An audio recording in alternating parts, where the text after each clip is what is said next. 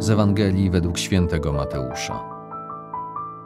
Jezus odprawił tłumy i wrócił do domu.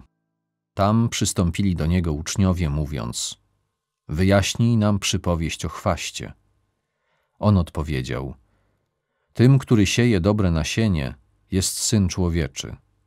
Rolą jest świat, dobrym nasieniem są synowie królestwa, chwastem zaś synowie złego. Nieprzyjacielem, który posiał chwast, jest diabeł, żniwem jest koniec świata, a żeńcami są aniołowie. Jak więc zbiera się chwast i spala w ogniu, tak będzie przy końcu świata. Syn człowieczy pośle aniołów swoich. Ci zbiorą z jego królestwa wszystkie zgorszenia oraz tych, którzy dopuszczają się nieprawości i wrzucą ich w piec rozpalony. Tam będzie płacz i zgrzytanie zębów. Wtedy sprawiedliwi jaśnieć będą jak słońce w królestwie Ojca swego. Kto ma uszy, niechaj słucha.